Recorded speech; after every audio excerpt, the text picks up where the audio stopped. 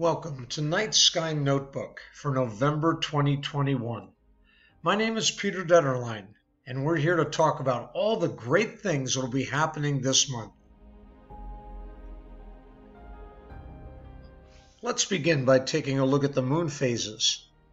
The month begins with the new moon on November 4th, first quarter on the 10th, and full moon, what's called the beaver moon, on November 19. The Indians gave it that name because beavers are especially prevalent at this time of year as they make their preparations for winter. Sometimes it's also called the frosty moon. Third quarter is November 27.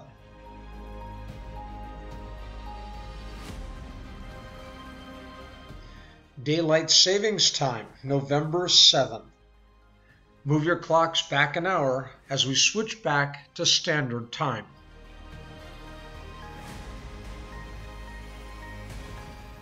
And also on November 7, spend that evening taking a look at Venus and the Moon, the two brightest objects in the nighttime sky.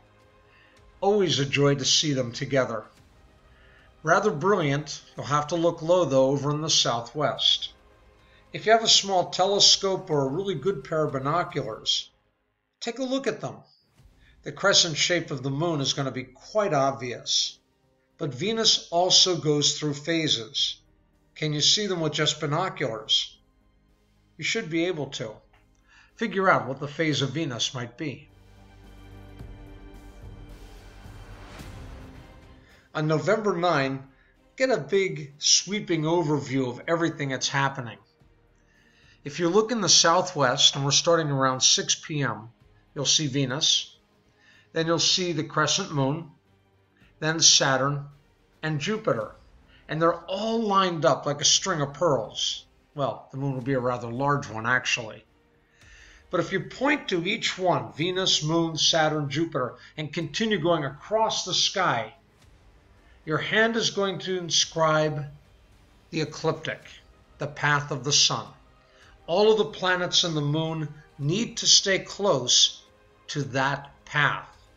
And you can figure it out just by drawing an imaginary line across the sky with your hand as you connect the dots. Check them out. It's a neat way to take a look at our solar system.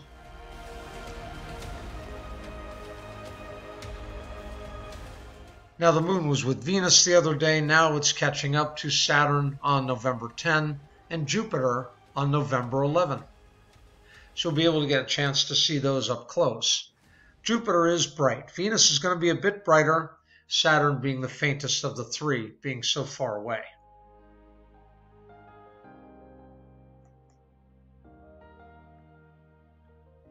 November 17 to 18, dueling meteor showers.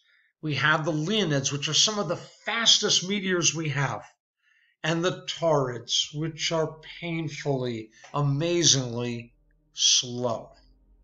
The Taurids actually peak around November 3 4, but they're visible really all month.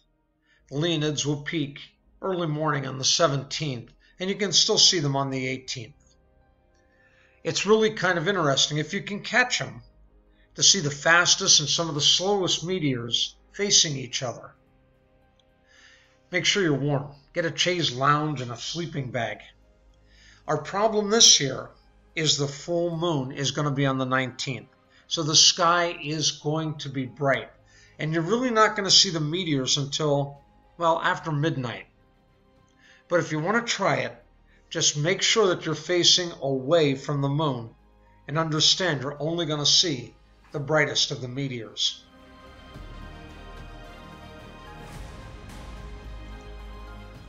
But November 19th is the big event for the month an almost total lunar eclipse. Almost meaning 97% of the moon's disk will be in the Earth's shadow. And a full moon happens, of course, when the moon enters into the Earth's shadow. It doesn't go black. Light is still hitting the Earth's atmosphere and being refracted or bent to strike the moon. How much light? That really depends on how much dust and dirt is in our atmosphere at that time. So the color could be anywhere from almost black to disappearing to brown to, to orange to a brick red, a dull red to a yellow orange. We just don't know. And we won't know until the time of the eclipse, depending what volcanoes or wildfires are erupting at that time. This eclipse is so close to being total, it's basically a total eclipse.